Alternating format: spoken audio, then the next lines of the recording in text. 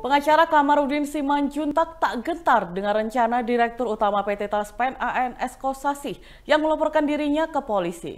Kamarudin mengklaim memiliki bukti ribuan video dewasa Kosasi dengan sejumlah wanita simpanannya. Kamarudin menyebut pihaknya sudah mengantongi transaksi keuangan Kosasi yang mengalir ke para wanita simpanannya tersebut.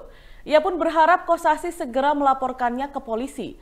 Kamarudin merupakan kuasa hukum istri kedua ANS Kosasi dalam sidang perceraian. Sementara saat ini Kamarudin juga kuasa hukum keluarga Brigadir Yosua Huta Barat alias Brigadir J. Lebih lanjut, Kamarudin mengaku sudah mengajukan somasi kepada Kosasi sebanyak tiga kali, namun tidak mendapat respon dari yang bersangkutan. Ia menyampaikan juga sudah menyurati Presiden Joko Widodo hingga Menteri BUMN Erick Thohir. Kamarudin mengklaim Jokowi pun sampai mengirim staf sus bertemu dirinya membahas masalah terkait kosasi.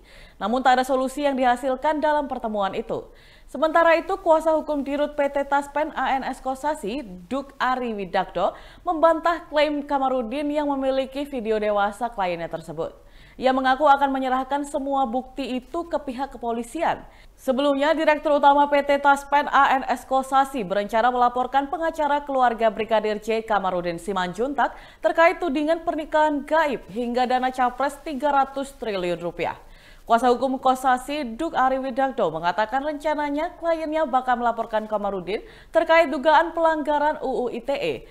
Laporan tersebut adalah buntut pernyataan Kamarudin dalam potongan video di media sosial yang menyebut bahwa Kosasi mengelola dana capres sebesar 300 triliun rupiah hingga terlibat pernikahan gaib.